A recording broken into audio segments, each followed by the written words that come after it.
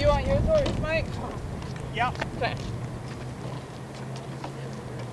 Uh, it's a 3,000 meter head race. It's the first uh, head race of the season.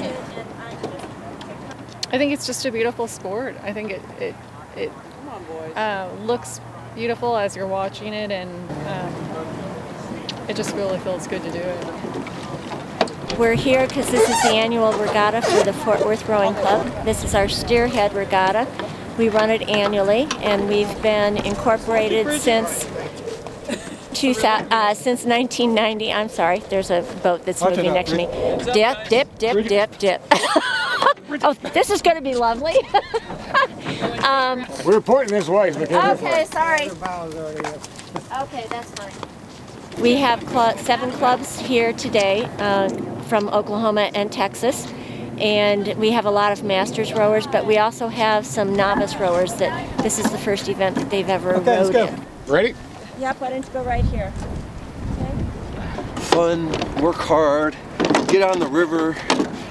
It's, uh, it's just a lot of fun, except the last thousand meters. That's that's not as much fun.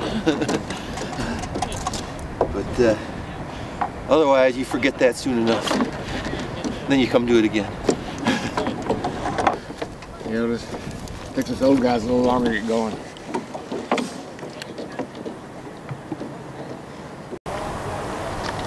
It does look very peaceful, though. It is. And I'm sure it's much harder than it looks. Come on down, eight. Looking good. Let's go.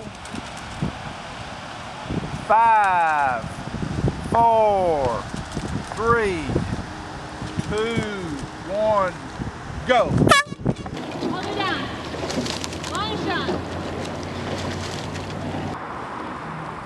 It really is um, covers all the muscle groups. It's relaxing. You get to be out in nature. You're on the water. You're not in it, but you're. It's it's great. I love it. that's that 0.2 seconds that causes you to not win. So just focus and make every stroke matter.